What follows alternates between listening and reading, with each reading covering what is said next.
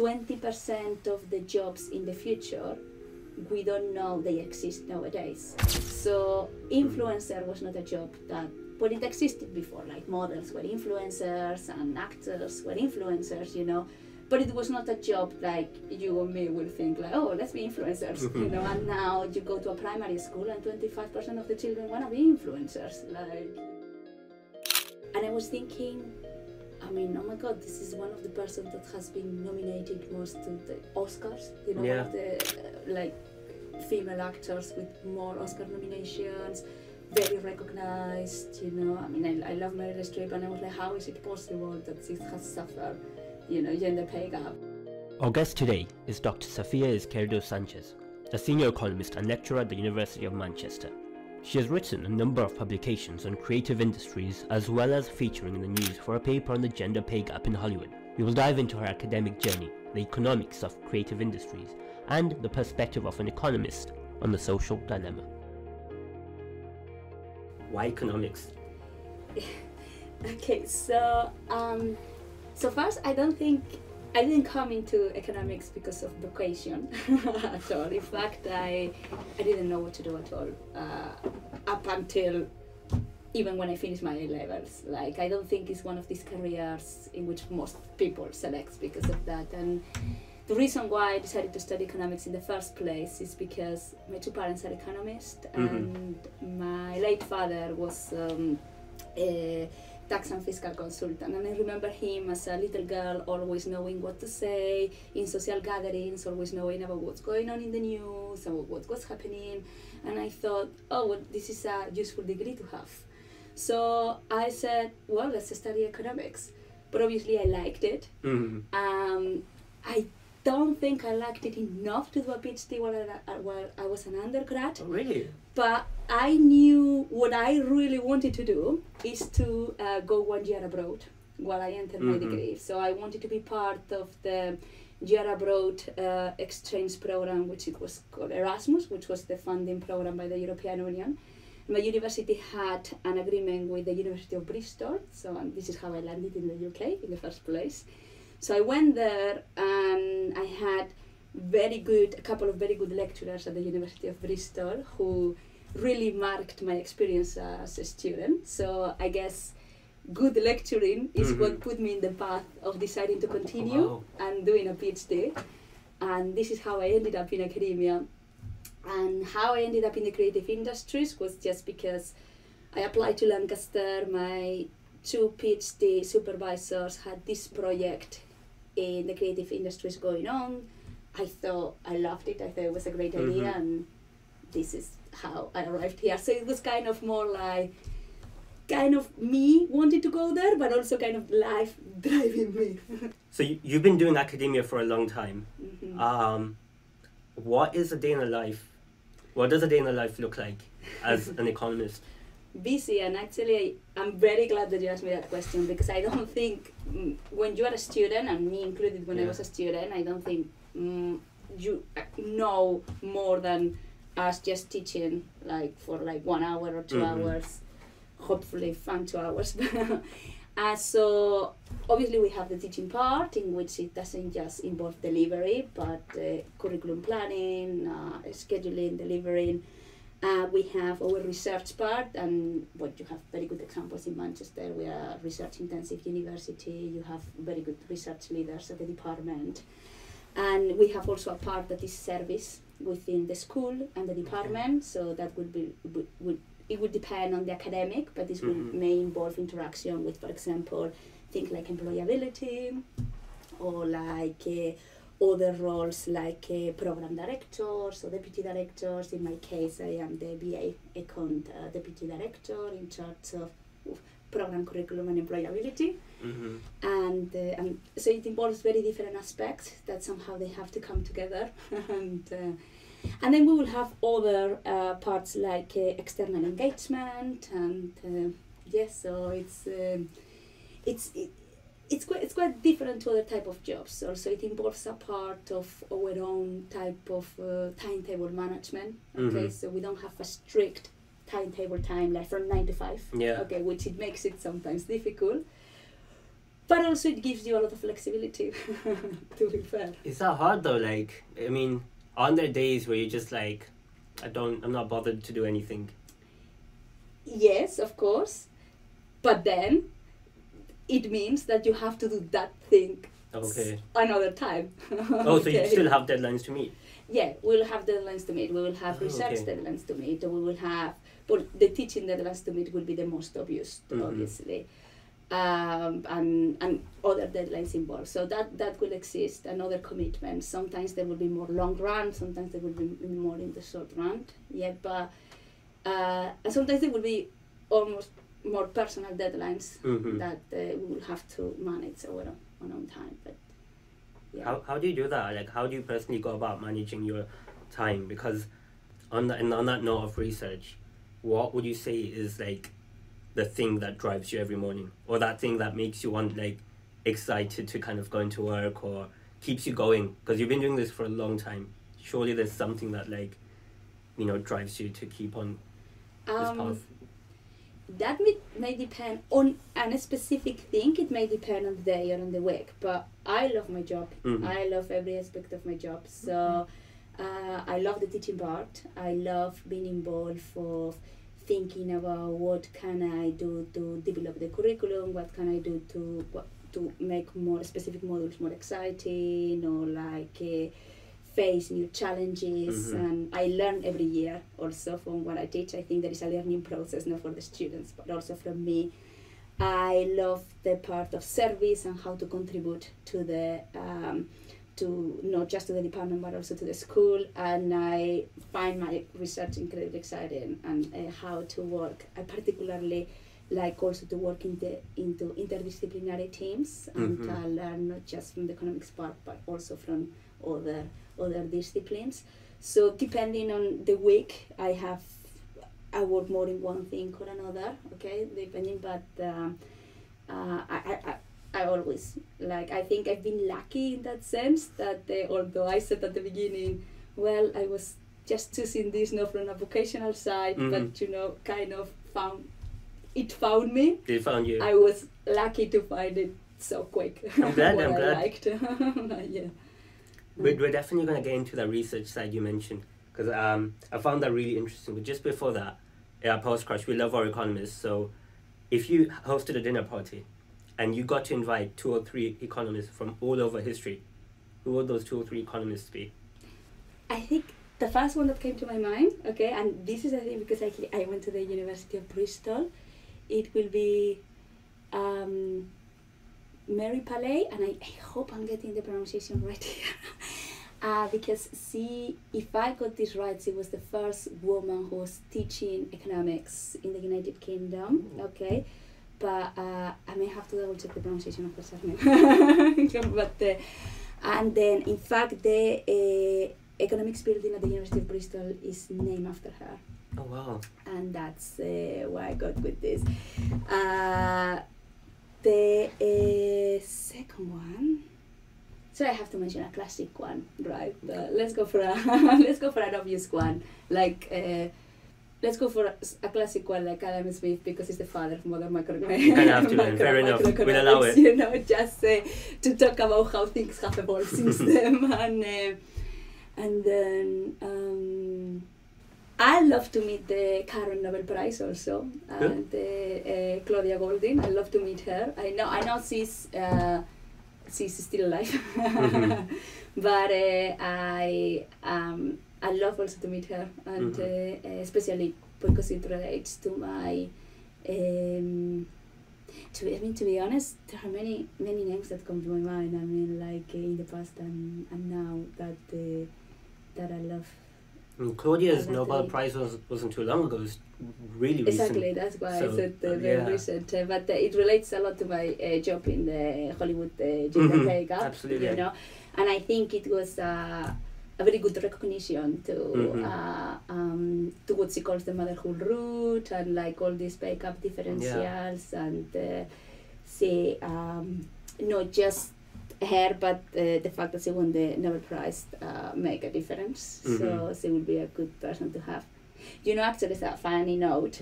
Uh, what I was thinking is that this completely personal thing. But uh, for a wedding, because I'm married an economist, for our name tables, we had economist.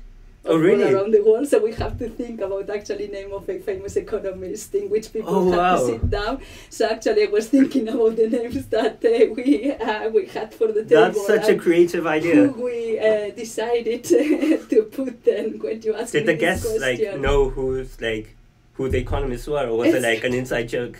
Because like I'm assuming like there's like for most people like we know like you know the top economists, and then there's so many more that like was it like yeah did you just pick the classical ones or was it like No, we tried to go for a variety of them. Uh, we did we did have classical Mm. ones, of course, like Schumpeter, like Keynes, you know, which by the way would be also a very interested one to read Mhm. because uh, uh, I, I was between Keynes and Adam Smith when I talk about the classic one, but. Um, Mhm. um, uh, but but uh, but then we also had uh, other ones that were not that classical. I mean, we had like fifteen tables, so we had to have a Really lot. creative. Uh, yes, um, uh, but also there are also other like Nobel prizes in behavioral economics, which Mhm. were also very relevant and. Uh, um, I mean, there are there are many that would be very interested to talk with uh, Yeah. in in life. I mean, we have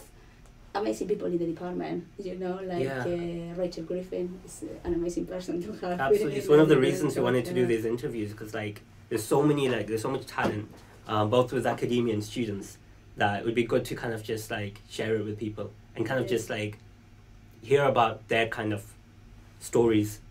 So yeah, I'm really glad you mentioned that.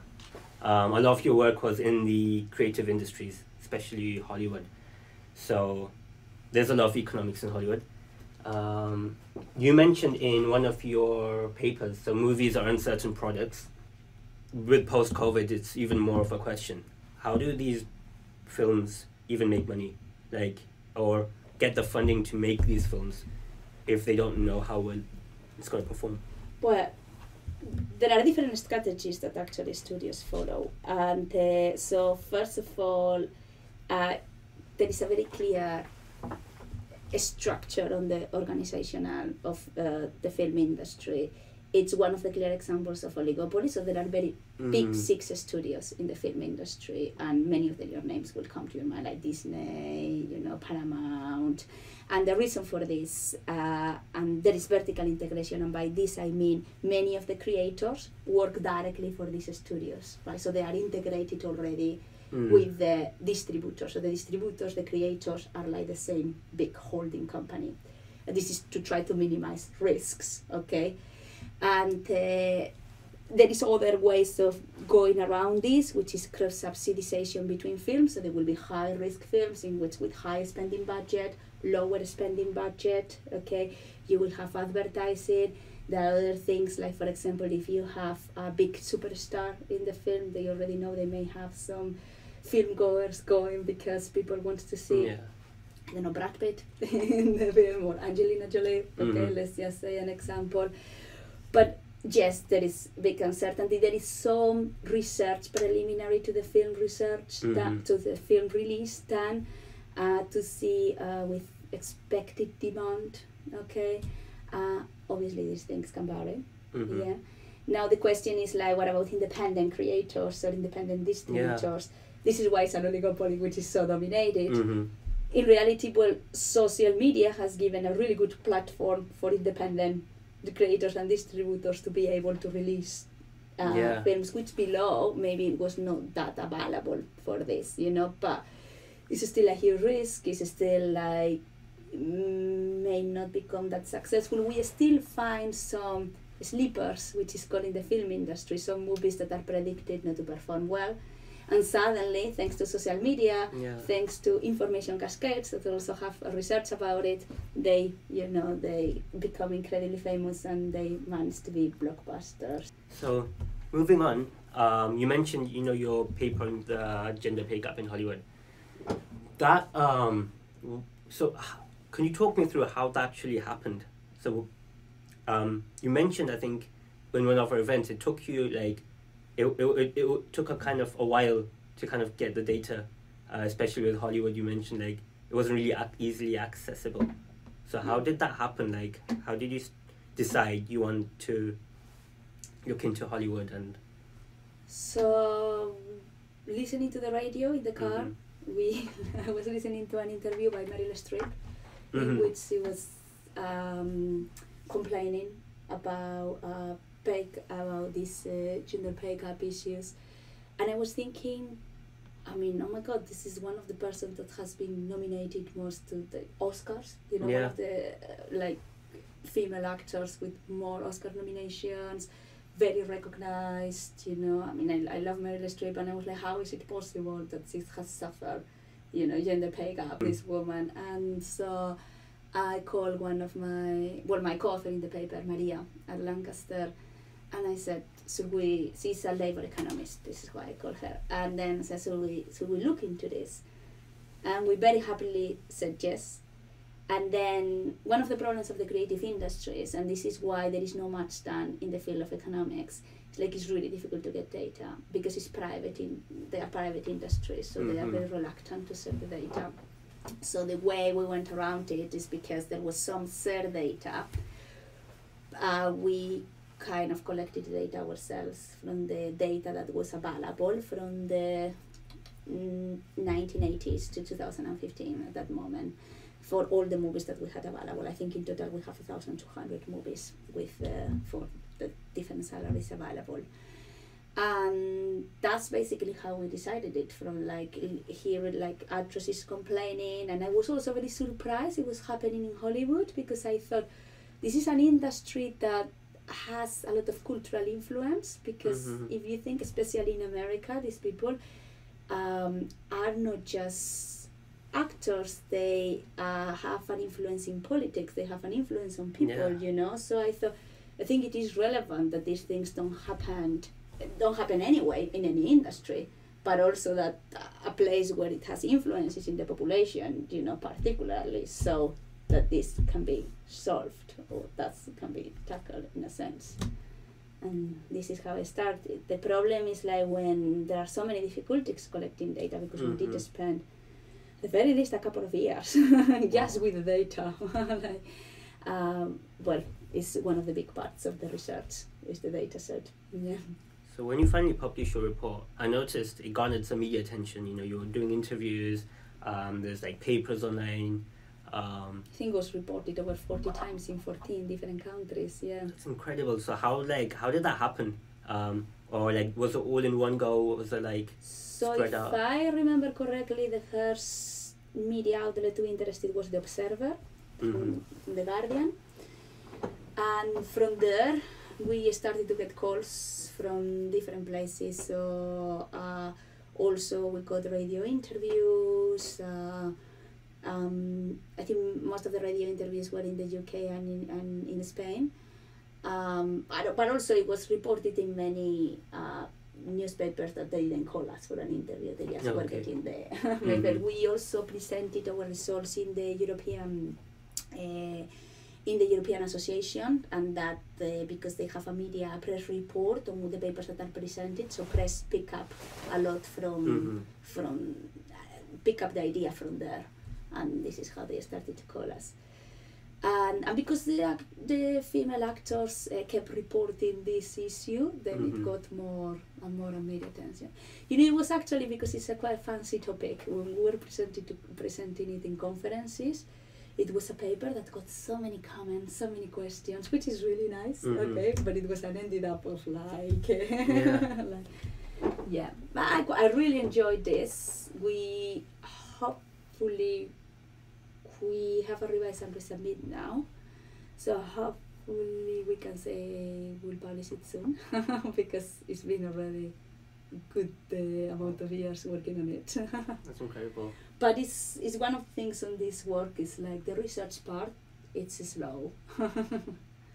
You know, the whole process, and I'm like, including the media process. Well, then the challenges you face, because I'm aware, like, in that kind of public-facing environment, It's They difficult can to be- with media. yeah, And in fact, with the interviews, I was always very concerned because we know we are academics. We are not used to working with media. And everyone was Mhm. telling me, be very aware of what you answer because you know they can twist your words so you need to be Mhm. very careful with what Yeah. to say what you answer and i was always really really concerned about what to say how to say it but i quite enjoy uh, dealing with it and Mhm. i quite like that you know i got attention that the people was interested and Mhm. uh, and and you know I, actually you know uh, one of the um, most challenging things it was when it was published in the newspapers sometimes i was getting to read the comments of people Mhm. that's one of the things that i had to stop doing Oh, really? because uh, yes because some of the comments were nice some of the comments were like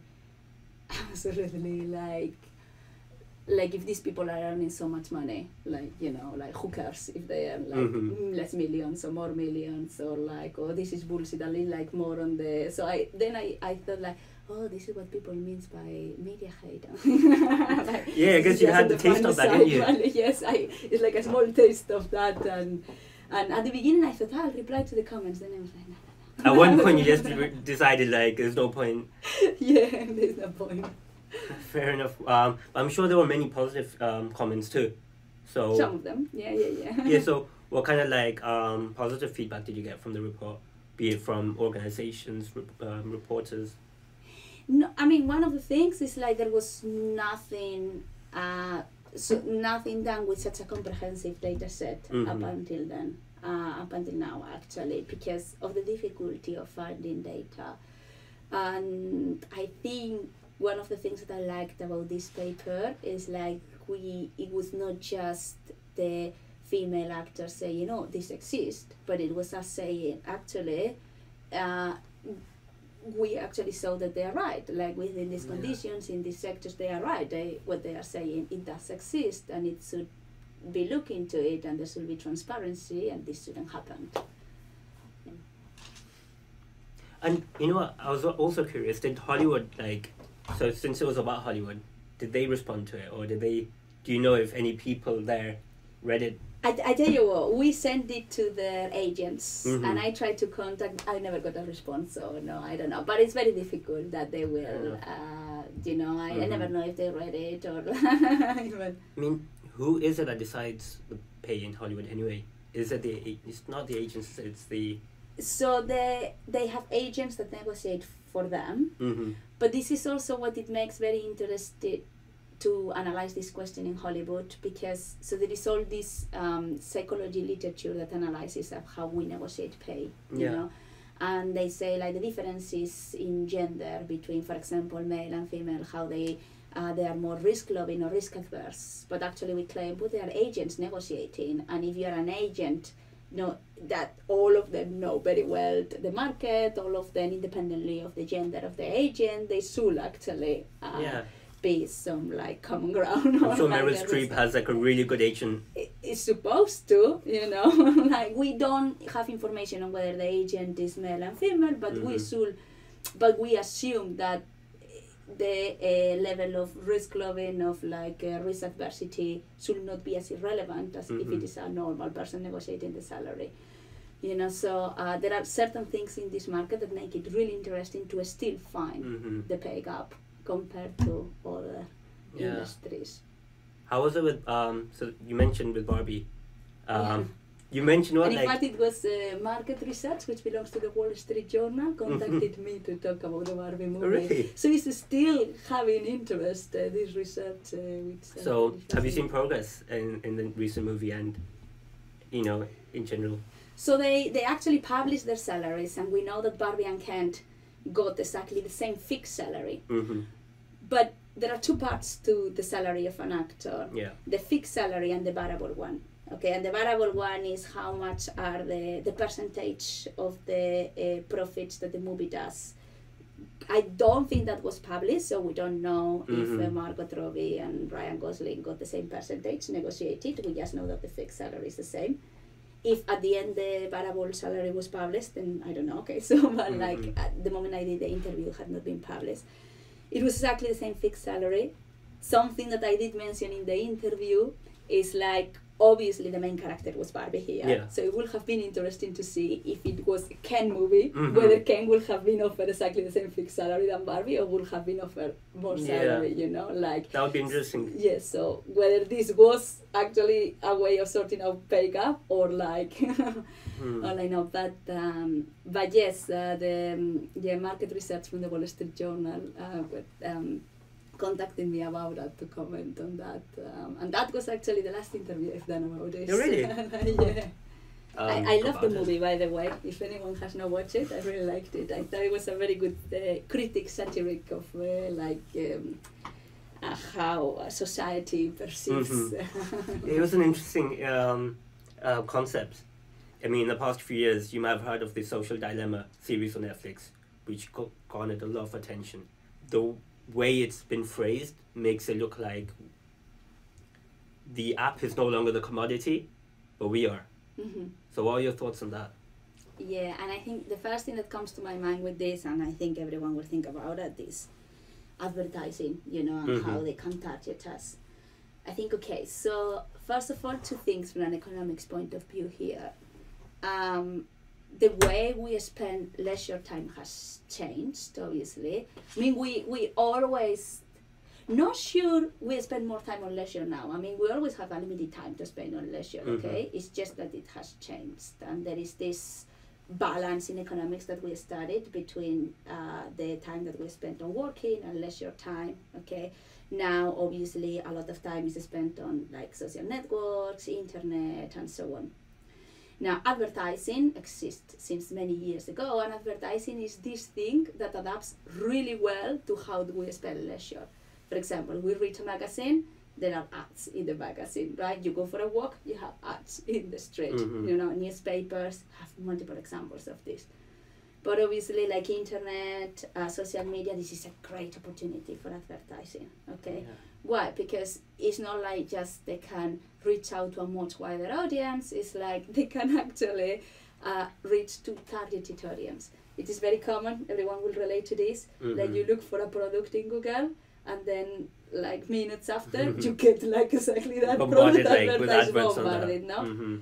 there is something for a consumer which is the search cost of looking so if you are if you for example want to buy a microphone you know there is a search cost like of looking for the perfect microphone so advertising could be useful in like selling you the characteristics and everything so it saves you time of looking for the perfect uh, microphone but of course there is a limited uh, amount of advertising and when you reach it it will decrease your utility right in economic terms Mhm.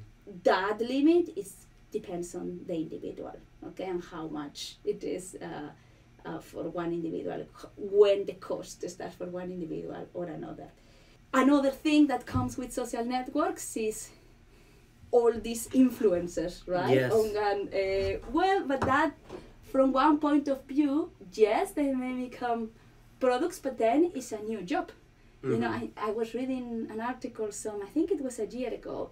It was um, economics of, uh, he was an economist of a state in Spain, and he was saying it's funny to think how 20% of the jobs in the future, we don't know they exist nowadays. So influencer was not a job that, but it existed before, like models were influencers and actors were influencers, you know but it was not a job like you or me will think like oh let's be influencers you Mhm. know and now you go to a primary school and 25% of the children want to be influencers like you anyone YouTuber. can be yeah so you are just exposed to the, all this bombarding of like products it's also so easy to buy right you just click and you just buy like it's Mhm. uh, so yeah there is this whole dilemma of like well is it are we creating all this like consumism Mhm. you know culture or like we just keep buying like uh, useless things that we becoming like a, a product of advertising. In like i think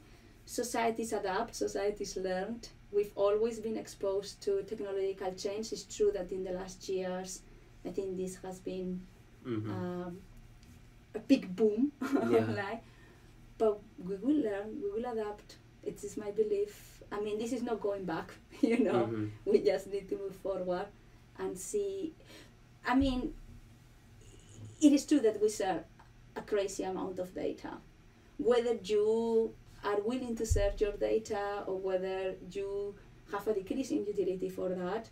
I think that depends a lot on specific individuals. I know people that they don't want to have any type of social network because of this. Okay, Mhm. I know the people that they don't mind at all.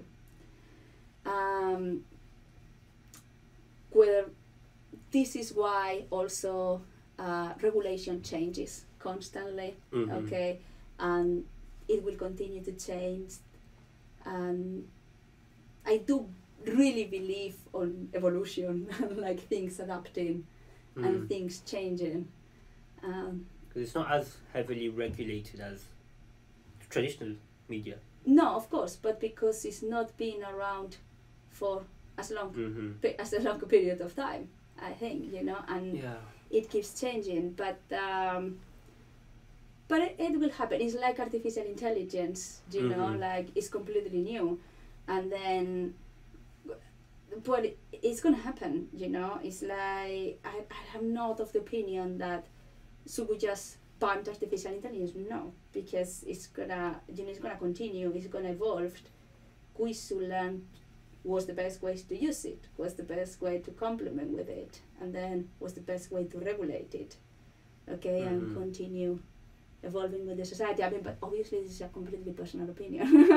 Like I mean, you completely disagree with Mm. me I mean, it's it's it's true in the sense that like, I heard stories about elections, for example, like people who lived in certain places got certain election adverts, and like, you know, um, I think it was during the American elections where the way they did advertising on Facebook was quite cheeky.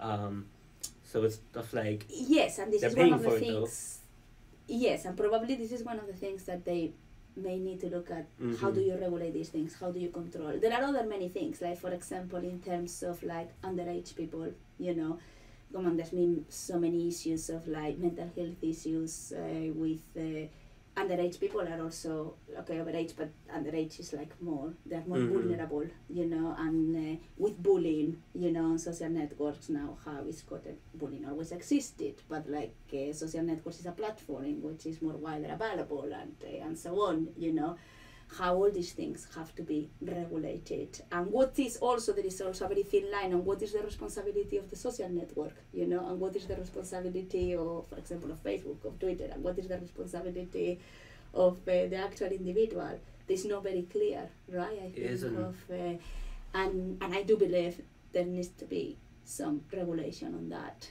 uh, because it's quite scary to think about about all the cases of hate that we were talking before, like Yeah. experiencing this. That's that's incredibly hard, and it's, it's a platform sometimes for people to do these things because it's kind of anonymous under quotations, and and I think that's incredibly sad, and that somehow should be. Uh, there was, I mean, there was a very big debate also with what.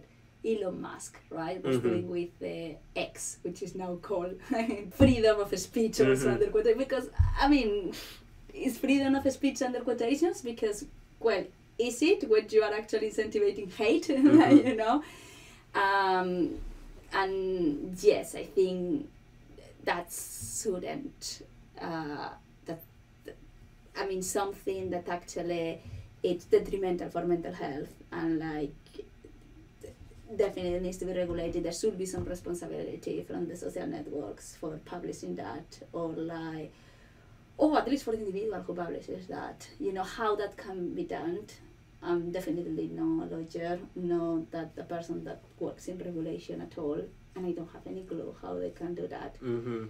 um, it is scary listen as, as a mom it's scary to think like uh, Yeah. how uh, my children are gonna be teenagers on that wall Mhm. like to be fair and the things that i hear from i have friends who are um, teachers in secondary schools and the things that they face now you know i was thinking wow that was not happening in my day Yeah. you know um, but um, um, but yes but yeah the same that they bring opportunities that they were commenting before Mm-hmm. they bring challenges that's like every every change um, but obviously this is for a much wider audience Yeah.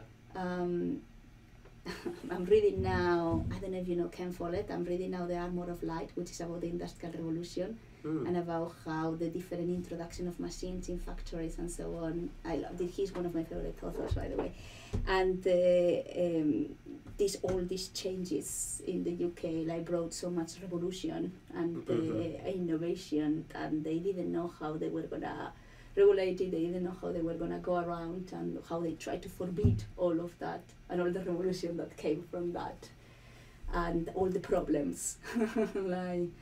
Um, Yeah. and and I was just thinking about that and how in the end now we see it as it was gonna happen anyway. you know, like so so changes have always happened. It should there, is there like this fear of this bigger industrial revolution that we are or I think there is always for? fear to change. Mhm. Same that happened with the Luddites. I mean like the, the with the first industrial revolution is exactly what I'm reading in the book, is what happened. It was fear. Right? And then now we look back in history and for us it's like a story and now we say like but it was so obvious no what was gonna happen in Mhm. the end that it makes sense what Yeah. happened, you know. And I think someone in some years' time will look back in history and will think like, well, yes, obvious. what happened is obvious, you know. There is always fear, obviously, because there's gonna be a change in jobs, in the dynamic that certain things work, Mhm. you know. There had to be new laws, there had to be new regulation, and then in the end, society adapts, we evolve, and We find a way. exactly, we find a way, and things work out. Hopefully, Yeah. In, hopefully for the best. in, in the words of um, I'm quoting Jurassic Park, life finds a way. Yeah. So hopefully we will study it in the economics degrees. hopefully, yeah.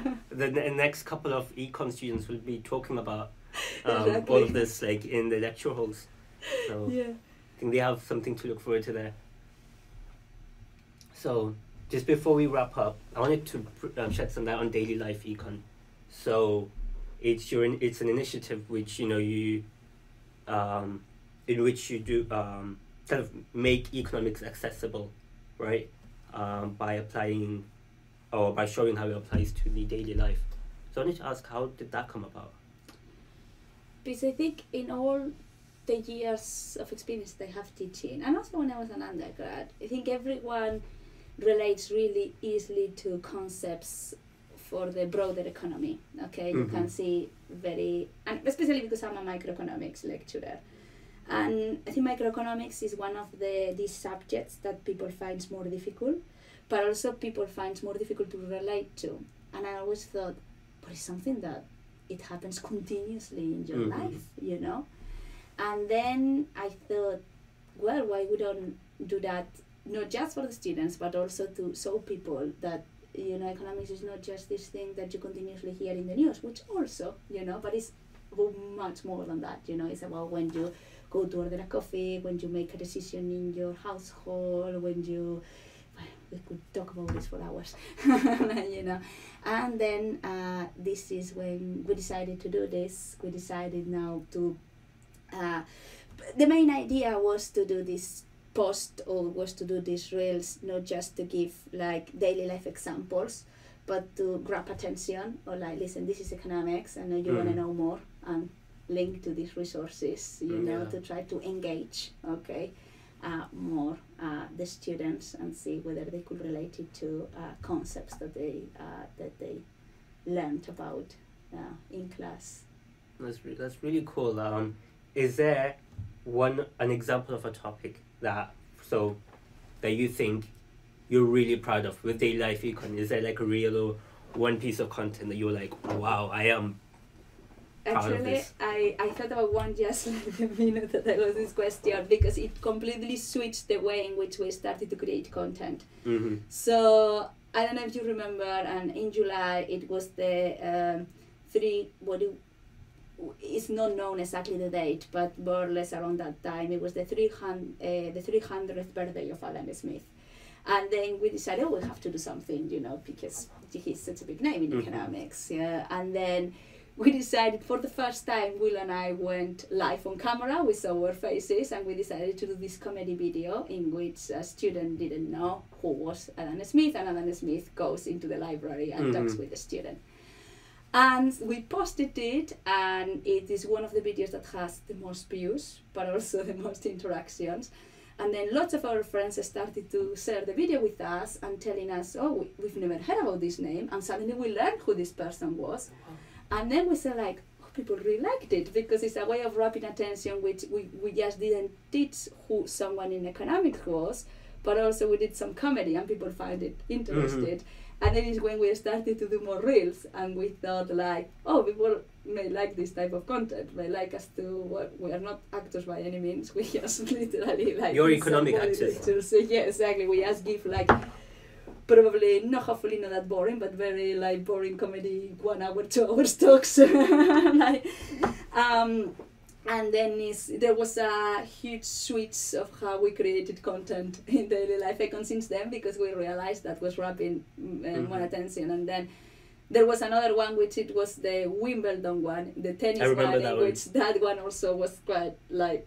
people liked it. Also got quite a lot of comments uh, on how game theory works, and that seemed to grab more people's attention. And then uh, learn a little bit about the concept, and we realized not just for students but also for external people who was following the account. And then we were going for dinners with our friends and say, "Oh, you know, I never learned about this, and now I know about this concept." And we were like, "Oh, so maybe it's interesting also for other people." I I really like the like comedy part, like linking that with economics, because yeah, I mean, it's, it's as you said, economics is literally everywhere, but we don't.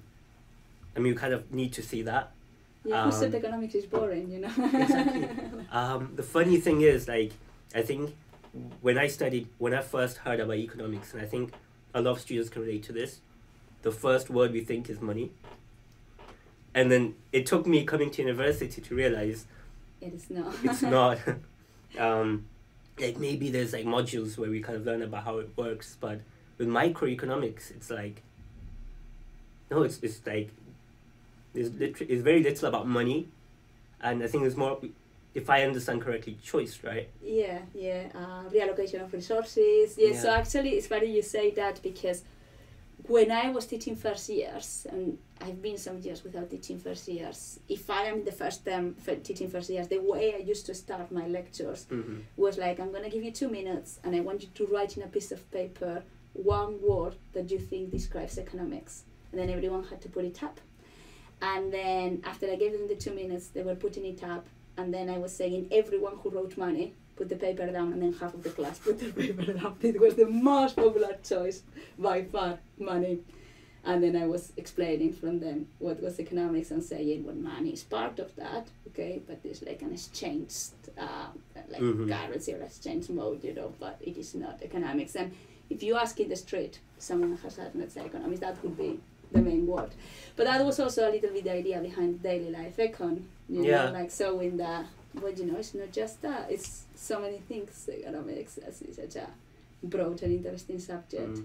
I, I always find it interesting, like why we attribute economics to money. Maybe it's just like the framing, like on social media news, we just see I think it's the news. economy and Yeah, I think it's the news, and most of the people relates it to banking Mhm. and finance. You know, there is links. It there is this very big link to finance, and it's part of it. It's part of Mhm. economics. It's linked, but it's so much to Mm, economics, and it gives really you general. yeah.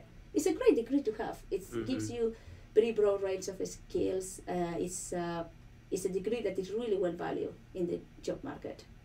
Um, that's good to hear. uh, yeah, it is. So, um, yeah.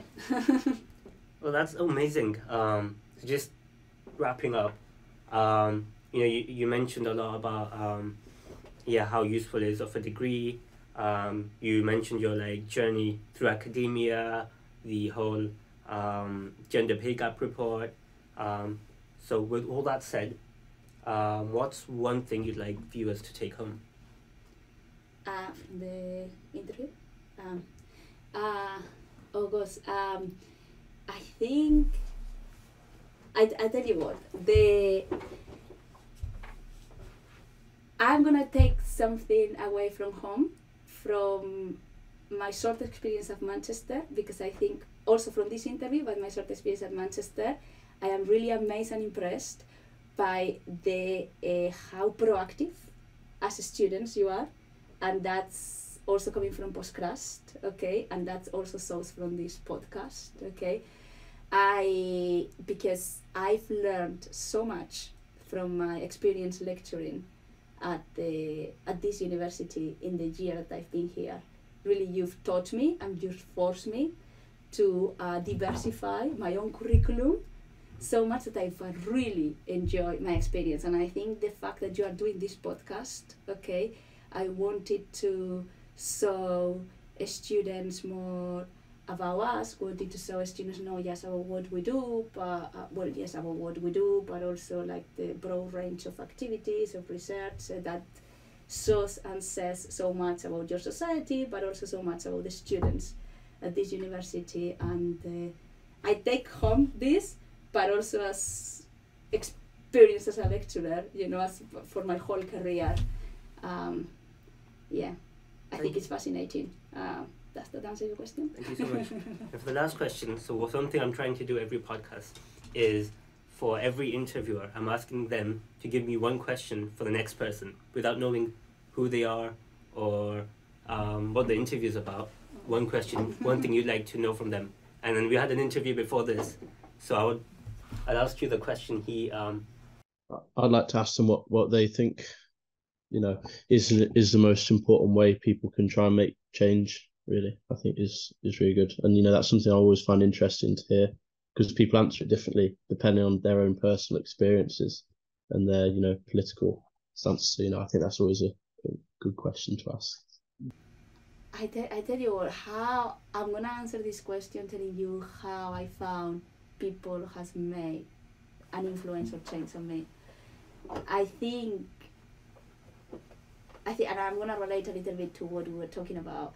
I think when they inspire you, but when they are also empathetic and understanding with you, when you find that person that you have you are confident enough to um, being able to talk to them, but not just on a friend mode, okay? But Mhm. like for example, this person that is your uh, official mentor in life, Mhm. okay? And I'm gonna give you an example. So one of my PhD supervisors, who that's not it's not Manchester at all, but she kept being one of the persons who is uh, my friend, but who keeps inspiring me, who keeps like unofficially mentoring me and officially guiding me in life. And she's been always so empathetic, so approachable. Uh, that that you know that facility, giving that facility to people to mm, understand them, to make sure like showing empathy Mhm. basically to people, showing an approachability, but also in other sense inspiring them. What we were saying, inspiring teaching, inspiring lecturing, in terms of academia. Okay, um, that's how people has made impacts on me. So I hope that's how I can make an impact on people. You cannot make an impact on everyone. You know, you can not like to everyone, but yeah. no, that's such a nice answer. Thank you so much. Yeah. okay. Um, so now your turn. Okay. Um, I think. Do you know what? What I answered to you about something that I, it marked my journey as a lecturer. Okay, here, like for example, meeting such inspiring students, like I'm marking something that has marked their journey. What being at Manchester, either as a student or as a lecturer, that they think they've made an impact on them, that will carry on with them for their foreseen uh, journey, Mm-hmm. either a student or in their lecturing journey. Okay, what what do they think that is that thing that really made an impact on their life? And it could be academically related or Wow. personal related. You know, That's- a person that they met or um, yeah, It's a powerful question. yeah. How would you answer it? Um, well, I will answer that actually it's, it's the, the students I met here. Mm-hmm. Uh, it really surprised me, uh, and I and I, it's a challenge that I tell you what. At the start, I was at the start I was a bit concerned about it because people talks about Mhm. uh, you know Manchester is a university known for challenging students, and but it, it doesn't have to be in that sense. And then I found I found I really enjoy it because it's it develops my journey, you know, and I found myself trying to think about so many ideas to try to diversify the curriculum, to introduce new things like social responsibility, which I'm introducing in some of my modules this year, as an example, you know, or things like that, and it made me learn so much.